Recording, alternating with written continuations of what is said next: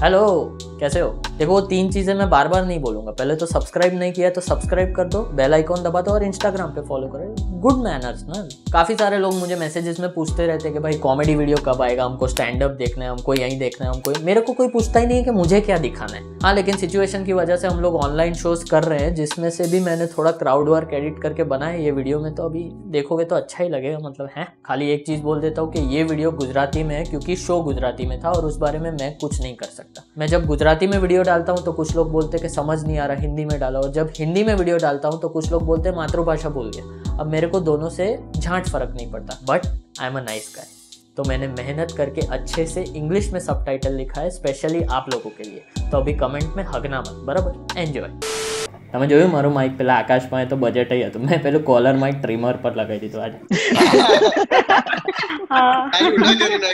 Phillips નું Mike છે બસ ખાલી એક એક બે જ રિક્વેસ્ટ છે કે just react if you like the joke અને બીજું એ કે રેકોર્ડિંગ કે કંઈ કરશો નહીં, ના કોઈ ફોટા વોટા લેજો. આપણે છેલ્લે છે ને હું આમ અલગ અલગ આમ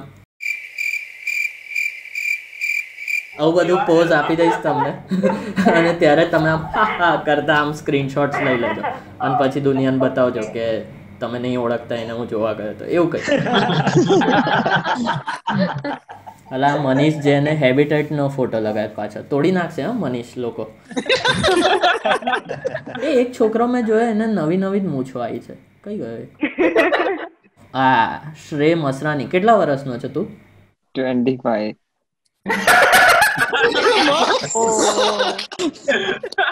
સાચું કે છે? અહીંયા કશું વંચાતું નથી ને? બહુ ડાયનામિક્સ છે જોકમાં મારા. બહુ વેરિએશન છે. તો આમ મગજ ફાટી જશે કે આ આવો કલાકાર ગુજરાતની ધરતી પર કેમનો જન્મી શકે? એટલે હું દિલ્હીમાં જન્મેલો. ચશ્મા કાઢી નાખું છું હવે અંધારા આવી ગયા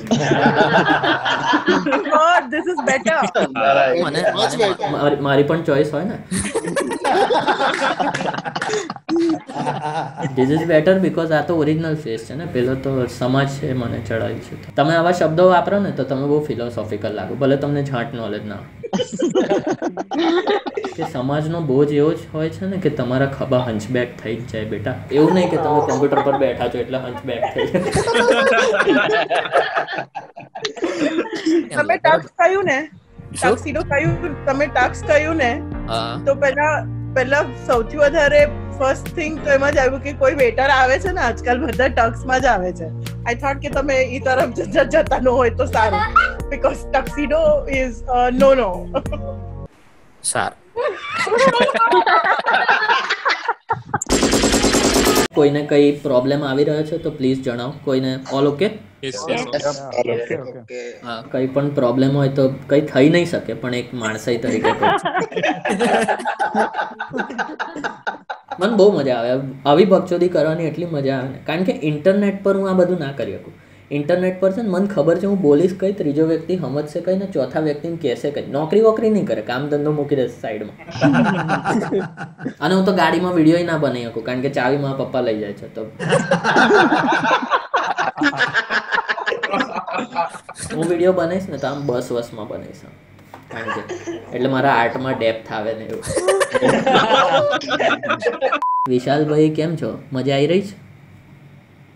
તમારા વાઈફને નહીં આવી રહી. જોયા કે આ કઈ લઈ આવ્યો છે આ માણસ લગન પછી યાર.